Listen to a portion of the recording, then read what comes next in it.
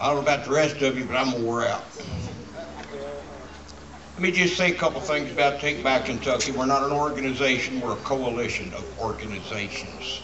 And recently, the Tea Party groups have been coming to our meetings and are coming in, and it gives us a chance to all work together against this monster and the big monster in Washington. And that's what it's all about. It's us people fighting back. We've had it. I'm tired of it. They can leave me the hell alone. Yeah. Yeah.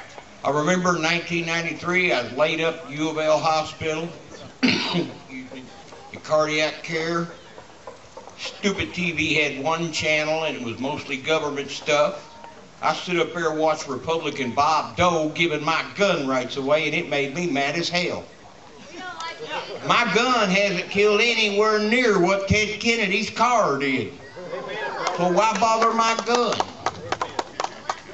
We went to Frankfort and organized in uh, October of 93. Uh, was going to be a county-wide organization, Kentuckians for the Right to Bear Arms, that ended up going statewide. We went to Frankfort in 94 and we told the people, we want some gun rights back. We're sick of Bill Clinton and that bunch of idiots and Bob Dole consenting to take my gun rights away. They laughed at us. We, we told them we want to conceal carry, and they laughed at us and told us this tale about two legislators sitting up here. Ed, I know Ed remembers it, and there's a couple others here that remember the fight we had. And they told us two legislators almost killed each other over a bill back over a hundred years ago, and that's when we banned concealed carry. We'll never have that again. Well, I don't care how many of them. I don't care if they all kill each other. It's none of my business, you know. If they want to do that, that's fine. It don't bother me a bit. But I want my rights back. Now, I know a young lady back here talking about she has a son in the military. I had a son in the Marines and one in the Army. I had a son in the Marines got hurt. So I know how you feel. But I'm telling you, we don't want, we want a strong military, but we don't want a military standing on our street corners. No. Never. If you like that, go to Mexico. They have it. And they carry M16s. Anybody that's been to Mexico, you know what I'm talking about. We don't ever want that. And that leads me to what I want to talk about next. Well, I do want to say we went out and organized 108 counties in two years. Remember that, Ed? We got a group in all them counties. We came back in 96. We told the legislature, now we want our concealed carry. And they didn't have any choice or they would have been put out of office because we had groups in every county calling them and pestering them every day. And it worked and now we have it and we're not through. We weren't through then. We've gotten, God only knows how. many. We can't even count the bills we've got passed and the bills we've stopped. I remember up here in 2000, Governor Patton about blew a car. He was so mad he couldn't pass a $40 billion, 20-year plan they called smart growth. Even brought the governor in from Delaware to try to convince our legislators we got to have it. We got to have it. We got to have it. No. No. We don't have to have it. I don't need you, somebody setting up your three-tier plan in Frankfort for every inch of Kentucky to be under a state land use plan, sending it down to the area development districts, and then sending that down to the counties and making all of us have plans. We don't need it. And we killed it three times. Then Ed didn't come back with what he called mini smart growth. Well, I heard that old tale about the camel getting his nose in the tent, so we told him that wasn't going to happen. And it didn't. And that's only one of, God, hundreds of bills. Am I right, Ed? So, that leads me to where I'm leading you to. A couple months ago, I was nominated and approved by a Freedom 21 which is a nationwide coalition of organizations, and they have great people. Henry Lamb, Dr. Michael Coffman, Wanda Benton, Phyllis Schlafly, listen, a ton of people.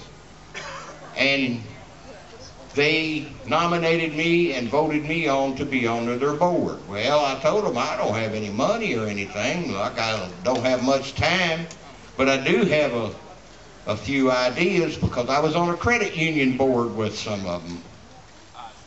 They, Friday, yesterday, I was appointed, well, I was voted on and appointed a national director of a plan you're going to love. It is time to get our state's rights back. Yes, sir. It is time to take it back, period. Do you know that Frankfort sends 34 mandates to every county? 34 mandates, I kid you not. And they have to pay for most of them. The grants have gone from 80-20, now they're 50-50. I'm also appointed by my county fiscal court on the tourism commission. We have to deal with the budgets and things and grants and things. I know how the government works. I've been working with this bunch of crooks up here for 15, 16, 17 years in a row. I know how it works. So I have been appointed to put a halt to these federal mandates on the states. I've been, and the way we plan to achieve this is there's only one way. Everybody here has heard the terms the 10th Amendment, dual sovereignty, and everything else. We don't have that. Who are we kidding? If the feds come down and say something, pass a law, we're screwed. You know it. However, they're allowed to do this by the 17th Amendment. The 17th, 17th Amendment needs to be repealed, period. The founding fathers were geniuses. They gave the House of Representatives to be the people's house, and that's what it was called.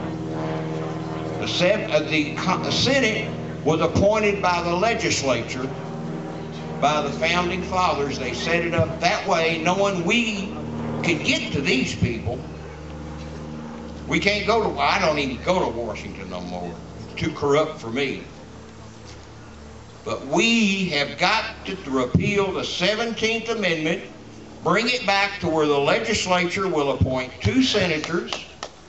They will in turn have recall rights. You don't take up upper states' rights, you're coming home and we will replace you.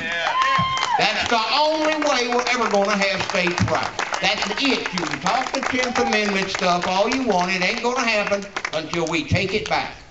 That's it. And we're going to begin a campaign right after the election. We're putting everything together now.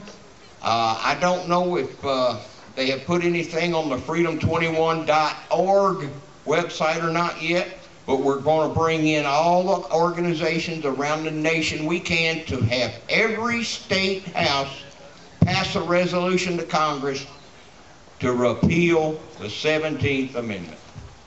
And that I am very proud. They, they tell me I, I'm the best organizer. Well, I learned it well. I learned it from the communists.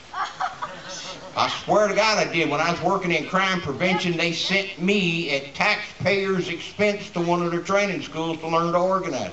I didn't know what I was going to do with it until they started taking my guns 20 years later. And then I told a neighbor, you know, well, there was four of us sitting around the table, we need to do something. We need to start a group. I said, well, I know how to organize, and I got all the papers out that they that they gave us, and I showed it to them. They said, we can try. Hey, I didn't know it was going to lead to 18,000 members in Kentuckians for the Right to Bear Arms, chapters in 108 of the 120 counties, and we got our concealed carry. They were tickled to death to give it to us. Now we're, and I've been all over America. I like to froze to death in Montana one December.